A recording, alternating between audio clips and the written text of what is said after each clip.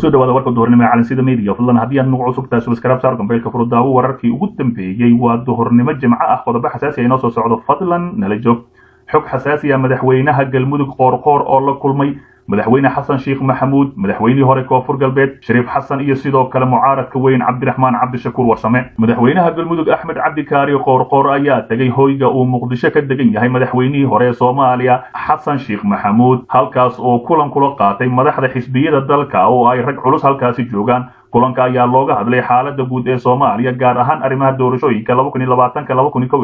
ka iyo sidii loo dhammaystiri lahaa heshiiskii hanaanka doorashada ee lagu gaaray shirkii dhuusamareeb saddex kulankani ayaa waxa uu ku soo aadayaa xilli magaalada muqdisho. Ay ku wada sugan yihiin dhammaan madaxda dowlad goboleedyada iyaga oo la filayo in madaxweyne farmaajo uu la qaataan kulan looga hadlayo arrimaha doorashooyinka dalka. Islamarkaasina shirka gebi ahaanba halkaasi uu ka furmo. Si kastaba ha ahaatee xalay ayay halkaasi ku wada kulmeen. Islamarkaasina shir hordhac ahi oo gogol xaar u ahay shirweynaha la filayo ayaana la ogeyn warbixinta ama wixii ay isku afgarteen. Si kastaba ha ahaatee axmed madoobe ayaa weli ku dhegan qorshihiisa ahaa in gobolka gado laga soo wada baxo ama ciidamada dowladda ay ka soo baxaan kadibna wixii heshiis ahay halkaasi uu la galo dowladda federaalk soomaaliya iyo saaxiibadiisa kale. Dhinaca kale boqorka sacuudiga oo deg deg xilka ugu qaaday sheekh cabdiraxmaan al sudaysi boqorka sacuudi carabiya salmaan bin cabdicasiis ayaa la sheegay inuu xilkii ka qaaday sheekh cabdiraxmaan al sudaysi oo ahaa qaadibka masjidka barakaysan ee xarameyn tallaabadani ayaa ka dambaysay markii sheekh sudaysa uu jimcihii la soo dhaafay ka jeediyey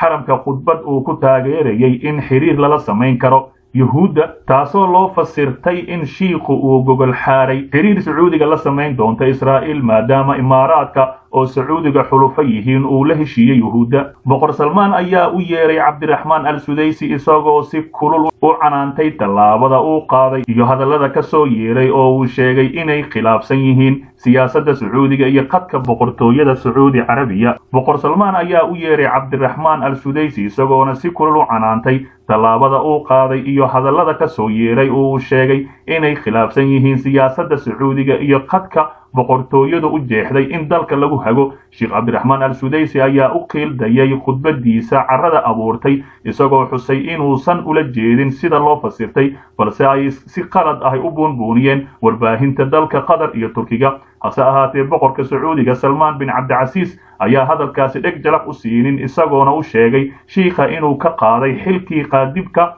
masjidka xarameyn uusan khudbad dambe ka jeedin doonin maka almukarama dhinaca kale xog xasaasi ah warqad cabasho ahi oo muqdisho laga dilay oo ka dambaysay imaashaha wafdiga maraykanka ee la xisaabtanka madaxweyne farmaajo. Ilo wareejo ka tirsan madasha xisbiyada qaran ayaa warbaahinta u sheegay in madaxweynayaashii hore ee dalka siyaasiyiinta xubno kale ee dowladda maraykanka ahi ay u gudbiyeen tabashooyin ka dhan qaabkii loo maamulay dib u habeyntii ciidamada soomaaliya. Maraykanka oo soomaaliya ka taageera arrimaha ammaanka ayaa loo qoray warqad ay ku caddahay in la ruqseeyey boqolaal ka mid ahay ciidamada dowladda oo ku sugnaa shabeellooyinka kuwaas oo u badnaa beelo gaar ahi. Warqadan ayaa daba socotay qayladhaan horay oo arrintaani la xiriirta loo jeediyey. War murtiyeed ka soo baxay shirka beelaha mudulood ayaa qodobo ka mid ahi. Loogu cawday xadgudubka ay beesha sheegtay inuu ka jiro hay'adaha amniga iyo garsoorka dowladda soomaaliya. Arrintani ayaa waxaa sidoo kale horay uga hadlay madaxweyne shariif sheekh xasan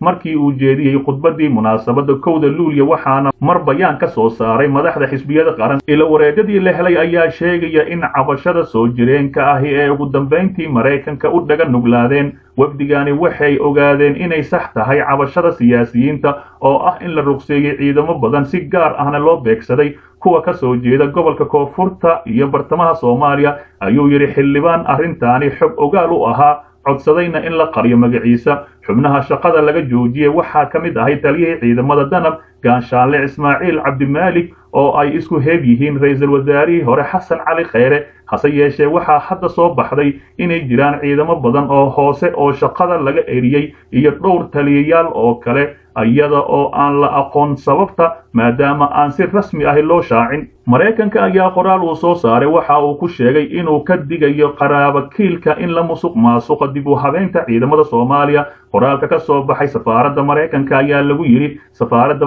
maraykanka ee soomaaliya waxay taageersan tahay dib u habeynta lagu sameeyo waaxda amniga taasi oo mustaqbal ifaya u hogaamin doonta soomaaliya iyo dhammaan soomaalida musuq maasuqa iyo qoraabo kiilka. Waxay dib u dhigayaan horumarka isbedelada waxay waxyeelaynayaan amniga shacabka soomaaliya waxayna xoojinayaan cadowga soomaaliya. Qoraalkaasi ayaa waxaa kadib xigay in arbacadii ay maraykanka muqdisho u soo direen wafdi heer sare ahi oo u badan saraakiil ciidan ahi wafdiga maraykanka ayaa muddo saacado ahi madaxweyne farmaajo kulan kula qaatay garoonka aadan cadde waxaana laga hadlay dhibaatooyinka laga soo gudbiyey nidaamka dib u habeynta ciidamada soomaaliya. Fahad yaasiin oo la wareegay awoodda filla soomaaliya iyo talada dalka islamarkaasina ilmo adeeradiisa xilal aada u sarraysa ku tixay hase ahaatee wararkii ugu dambeeyay ayaa ka soo baxaya awoodda u adeegsanayo fahad yaasiin. Fahad yaasiin oo u magacaabay cabdinuur maxamed ku-xigeenka agaasimaha madaxtooyada filla soomaaliya. Waxaa xalay loo magacaabay agaasime ku-xigeenka filla soomaaliya cabdinuur maxamed oo ilmo adeer la ah fahad yaasiin xaaji daahir. Fahad yaasiin ayaa shalay mar kale u magacaabay agaasimaha xafiiska ra'iisul wasaaraha cabdirasaaq caato oo horey loogu eriyey xafiiskaasi maadaama dembiye badan uu galay. Fahad yaasiin ayaa bishii luuliya u magacaabay walaashiisa la dhalatay maareeya ku-xigeenka hay'adda batroolka isagoo saddex maalin ka horna u magacaabay guddoomiyaha guddiga la dagaalanka musuq maasuqa maxamed cabdiraxiim ibraahim oo ah wiil ay ilmo adeer yihiin fahad yaasiin. Madaxweyne farmaajo ayaa u muuqda maqaar saar iska taagan filla soomaaliya wuxuuna fahad yaasiin fariimo u dirayaa maamul goboleedyada dalka gaar ahaan jubbaland iyo puntland isagoona isku muujinayo in uu yahay shaqsiga ay ka go-an tahay talada dalka. Farmaajo oo lahaa amarka in shaqada laga ceyriyo cabdirasaaq caato ayaa waxaa habeen hore ama shalayba dib u soo celiyo fahad yaasiin islamarkaasina adeegsaday awooddiisa kuna soo fadhiisiyey xafiiskii ra'iisul wasaaraha oo marka hore ka ceyriyey madaxweyne farmaajo. Isla caata ayaan ku jirnaahay cabdirasaaq caato oo dib loogu soo celiyey xilka laga qaaday. Cabdirasaaq xuseen aadan caato ayaa mar kale loo magacaabay xog-ayaha joogtada ah ee xafiiska ra'iisul wasaaraha dalka kadib warqad ka soo baxday xafiiska kusimaha ra'iisul wasaaraha mahdi maxamed guuleed qadar sihayaha ra'iisul wasaaraha dalka ayaa sidoo kale xilkii ka qaaday xoghayihii hore cabdiraxmaan sheikh mucaawiye oo xilkaasi hayay in ka yar afartan cisho kadib markii la ceyriyey cabdirasaaq caato oo haddana mar labaad loo soo magacaabay xilkani caato oo muddo toddobaad ahi ka yar hayay xilkaasi ayaa sababta markii hore looga qaaday waxa ay ahayd xadgudub lagula kacay yaxye cali hareeri oo ka mid ahay raggii sida aadka ah ugu dhowaa ra'iisul wasaarihii hore xilka laga eriyey mudane xasan cali khayre tan iyo markii waxaa jahwareer xoogan ka taagan xafiiska ra'iisul wasaaraha soomaaliya oo isbeddel deg deg ahi uu ku yimid markii la riday kheyre waxaana isla habeenkii kusimo loo soo magacaabay mahdi guuleed qadar uu xilkii ka qaaday axmed nuur maxamed cabdi oo ahaa xoghayaha joogtada ah ee xafiiska ra'iisul wasaare kheyre sidoo kale waxaa shaqada ka tegay inta badan raggii aadka ugu dhowaa ra'iisul wasaare xasan cali kheyre oo uu ka mid ahaa cali nuur salaad si kastaba ha ahaatee lama oga sababta rasmiga ah ee hadda keentay in xafiiska ra'iisul wasaaraha loogu celiyo cabdirasaaq caato balse sida ay horay u baahisay warbaahinta caato wax shaqo ah kuma lahayn. Amarka ahaa in baabuurta aan xabadda karin dib loogu soo celiyo islamarkaasina uu bixiyey siihayaha ra'iisul wasaaraha soomaaliya mahdi guuleed qadar si kastaba ha ahaatee madaxweyne farmaajo taladiisa iyo fahad yaasiin gebi ahaanba dowladda soomaaliya ayaa isku dhex yaacday islamarkaasina qalqal amni iyo qalqal siyaasadeed. Gebi ahaanba dalka waa uu xad dhaafay. Dhinaca kale dowladda soomaaliya oo ku baaqday in loo gurmado shacabka reer suudaan. Golaha wasiirada xukuumadda xilgaarsiinta ayaa ganacsatada iyo shacabka soomaaliyeed ugu baaqday in gurmad deg deg ah lala gaaro dowladda iyo shacabka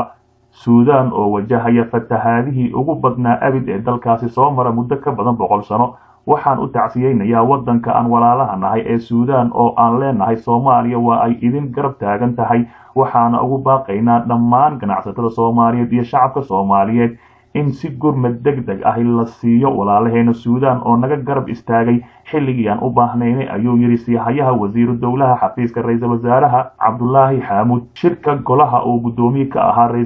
kusimaha ra'iisul wasaaraha dalka mudane mahdi maxamed guuleed qatar ayaa sidoo kale lagu go'aamiyey in muwaadiniinta suudaan ee ku dhaqan soomaaliya laga dhaafo qarashaadka degenaanshaha iyo ganaaxyo haddii ay jiraan suudaan oo ka mid ahay dalalka sida weyn u garab istaagay soomaaliya waxaa ku nool in ka badan toddoba kun oo muwaadiniin soomaaliyeed ahi oo isugu jiro arday iyo qoysas kale halkaasi degan